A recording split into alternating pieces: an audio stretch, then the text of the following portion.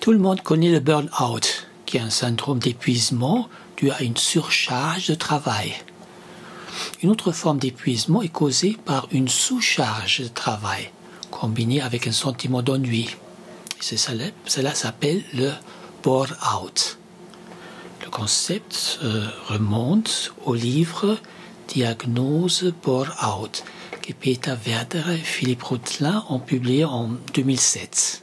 Quand j'étais dans ma toute dernière année scolaire, j'étais vraiment vraiment pas motivé parce que je, m'ennuyais profondément. Là, pour le coup, j'ai vécu un très, très, très, très, très gros board out que j'aspirais l'énergie, la motivation des autres. Merci Olivier Roland.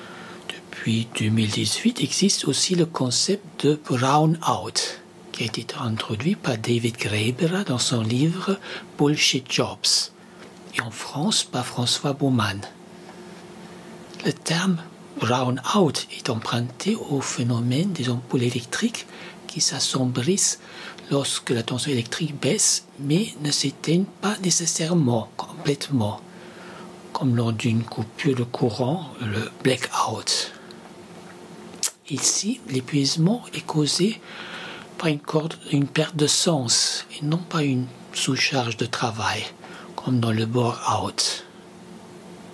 Le terme Brown Out semble donc plus approprié pour notre témoignage que pour Out.